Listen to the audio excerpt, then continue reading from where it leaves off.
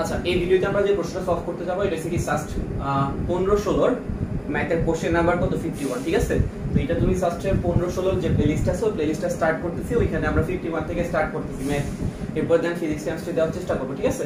তুমি এর আগে যদি একটু চেক করে দেখো, তুমি সাস্টের লাস্ট চার পাঁচ বছরের যতগুলো প্রশ্ন আছে, আমার চ্যানেল প্লেলিস্ট আকারে দেওয়া আছে। ষোলো, পনেরো, ষোলো দিতেছি। ষোলো, সতেরো দেওয়া আছে, সতেরো, আঠারো দেওয়া আছে। আঠারো, উনিশে পাবা, উনিশ, বিশে পাবা, ঠিক আছে? যদি কোনোটা পাইতে সমস্যা হয় বা কোনো ম্যাথ পাইতেছ না, ঠিক আছে? আঠারো উনিশের এত নাম্বার ম্যাথ পাইতেছো না, একটু চেক করে দেখবা প্লেলিস্টগুলো ঘাটলে পাই যাবে ওকে আচ্ছা তো আমরা এখানে সলভ করতেছি সাস্টের পনেরো ষোলোর ম্যাথের কোশ্চেন নাম্বার কত? ফিফটি ওয়ান ঠিক আছে? এটা একটা মডিউলাসের একটা প্রবলেম ঠিক আছে? এই প্রবলেমটা খুব কমন একটা প্রবলেম তুমি যেই জায়গায় পরীক্ষা দাও মডিউলাস থেকে প্রায় সময় ইন্টিগ্রেশন একটা প্রবলেম কিন্তু এমসিকিউতে দেয়, ঠিক আছে? তুমি সামনে তোমার গুচ্ছ ভর্তি পরীক্ষা আসতেছে, ঠিক আছে? এছাড়া আরও যে ম্যাথ যেখানে মানে যেখানে ম্যাথ আসতেছে, ওইখানে তুমি কিন্তু এইটা একটা ইম্পর্টেন্ট টাইপ তো এটার একটা ভিডিও আছে আলাদা মানে খুব বেসিক দিয়ে আমি ওইখানে তোমার ক্লিয়ার করার চেষ্টা করছি যে মডিউলাসের রাশিগুলো কীভাবে ইন্টিগ্রেশন করতে হয়, ঠিক আছে? তো ওই ওইটা একটু দেখবা, তুমি অ্যাডমিশন সিরিজের ম্যাথের প্লেলিস্ট চেক করলে ওখানে পাবা, ঠিক আছে? তো আমি ওটা নিয়ে বেশি টাইম দিচ্ছি না, অথবা ইন্টিগ্রেশন সিরিজের প্লেলিস্টও পাবা। তো আমরা এটা একটু সলভ করে দেখানোর চেষ্টা করি। আচ্ছা তাহলে আমাদেরকে যদি এটা যেহেতু সলভ করতেছি, এটা একটা মডিউলাসের প্রশ্ন, তো আমাদের একটু মডিউলাসের বিহেভিয়ার সম্পর্কে জানা লাগবে। আমরা জানি যে মডিউলাস কি করে? প্লাসকে প্লাসে রাখে আর মাইনাসকে কি করে ফেলে? প্লাস করে ফেলে। ঠিক আছে?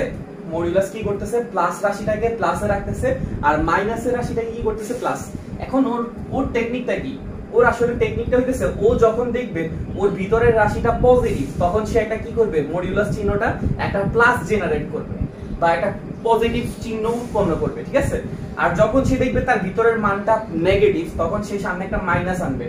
তাহলে এই মাইনাস আর এই মাইনাস আলটিমেটলি কি হয়ে যেতেছে? প্লাস বুঝতে পারছ? তাহলে সে প্লাস রাশিটাকেও প্লাস করতেছে মাইনাস রাশিটাকেও প্লাস করতেছে। কীভাবে কখনো সে যদি ভিতরের রাশিটা পজিটিভ থাকে, তাহলে সামনে একটা প্লাস চিহ্ন আনবে। যদি ভিতরের রাশিটা নেগেটিভ থাকে বা জিরো থেকে ছোট থাকে, তাহলে সে কি আনবে? একটা সামনে মাইনাস ওকে আচ্ছা এখন আমাদের এখানে একটা মডিউলাস অফ কি আছে, x, ঠিক আছে?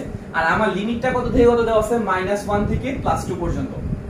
-1 থেকে +2 পর্যন্ত। আচ্ছা এখন আমরা একটু দেখা লাগবে আমাদের যে ভিতরে যে মডিউলাস অফ x এই রাশিটা।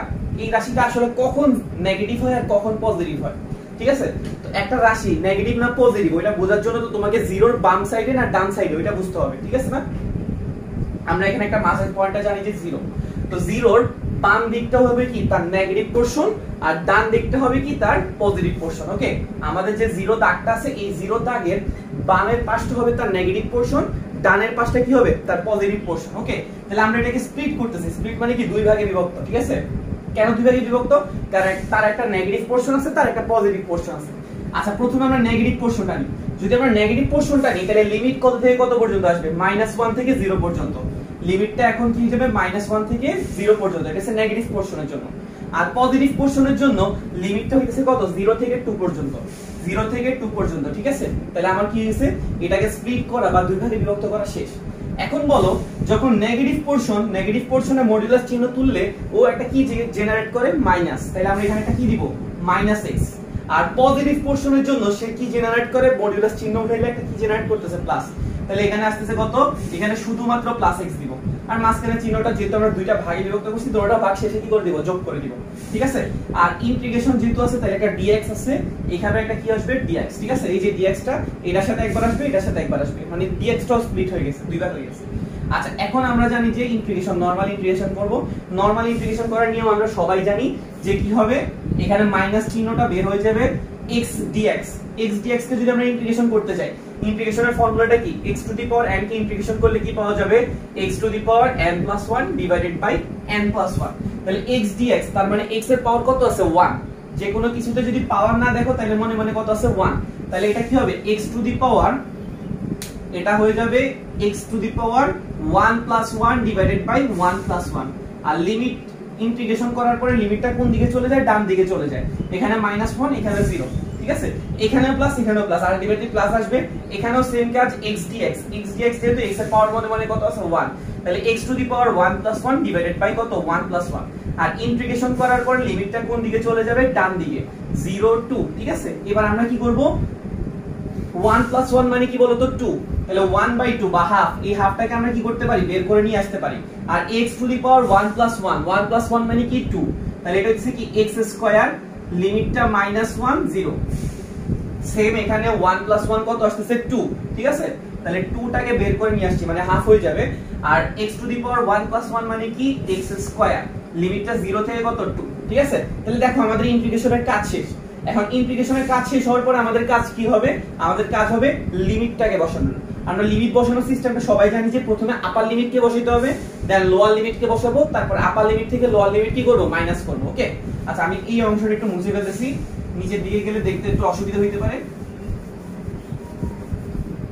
আচ্ছা তাহলে আমরা লিমিটটাকে বসানোর সিস্টেমটা কি? প্রথমে আপার লিমিটটাকে বসাবো। মাইনাস আপ দিলাম।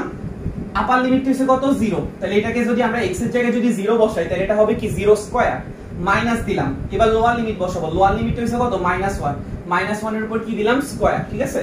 তারপরে প্লাস দিলাম। তারপরে এবার আবার এখানে আপার লিমিট এখানে আপার লিমিট আছে কত? 2 তাহলে 2 বসালে 2 স্কয়ার 0 বসালে কি আসতেছে? 0 স্কয়ার ওকে আচ্ছা তাহলে এখানে আমাদের মানগুলো বসানোর পরে এটা কি হইতেছে দেখো তো? 0 স্কয়ার মানে কি আসবে? 0 মাইনাস 1 স্কয়ার মানে কি? 1 তার সামনে এটা কি মাইনাস 1 ওকে প্লাস হাফ দুই কে স্কয়ার করলে কত আসবে? 4 ঠিক আছে? আর 0 কে স্কয়ার করলে কত হবে? 0 তো এটা নিয়ে টেনশন নেওয়ার কিছু নাই। আচ্ছা তাহলে এখানে দেখো আমাদের কি আসতেছে?